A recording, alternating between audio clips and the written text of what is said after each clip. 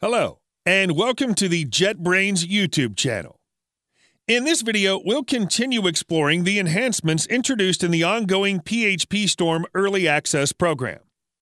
In earlier versions of PhpStorm, when you renamed a variable, all of its occurrences were considered, both inside and outside of loops or catch blocks. PhpStorm would then rename the variable everywhere throughout the scope.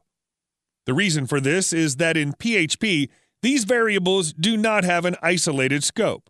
PhpStorm 2021.1 introduces a synthetic scope for these blocks, and the rename refactoring can include the variables either only from this scope or from the entire visible scope.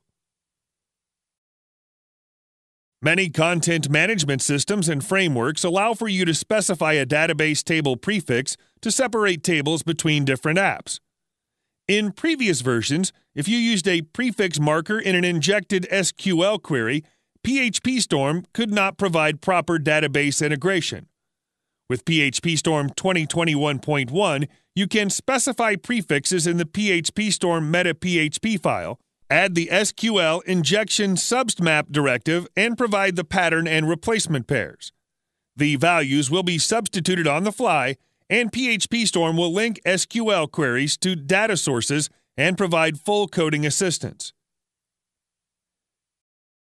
Each PhpStorm release brings new inspections, quick fixes, and intention actions. In this release, when analyzing your code, PhpStorm will consider extensions specified in both require and suggest sections of Composer JSON.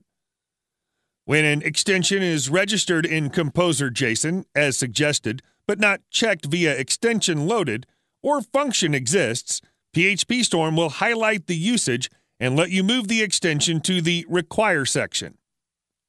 If the declared type does not match the type of a value, you can quickly update the type using Alt-Enter. Before PHP 8.0, it was common to add a variable assignment in a function call to mimic the actual name of a parameter. Starting with PHP 8.0, this hinting variable can be replaced with a named argument, and PhpStorm provides a quick fix for that. Checks using the isset function are only effective for arrays and variables. In all other cases, it makes more sense to use null checks instead, so you can use the provided quick fix to add them. PhpStorm will also highlight ternary expressions using isset and let you switch to simpler expressions using the null coalescing operator.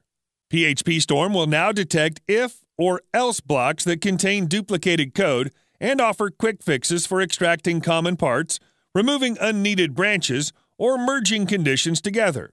Consider the following private method in a class.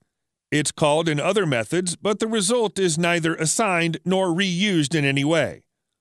For such methods, it may make sense to declare their return type void explicitly to make the code clearer. PhpStorm now recognizes the new line delimited JSON lines format, where each new line is a JSON object. You can configure the file types for this new format in the Preferences, Editor, File Types.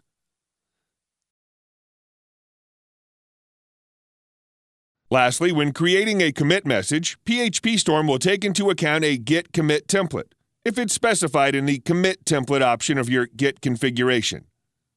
This sums up all the new features available in the latest EAP build of PhpStorm. Stay tuned for more updates, and thanks for watching.